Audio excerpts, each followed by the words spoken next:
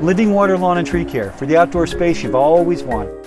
For over a quarter century, we at Living Water have understood it's not your landscape or your lawn or your trees, it's your home. And your home is important to you. And because it's important to you, it's important to us.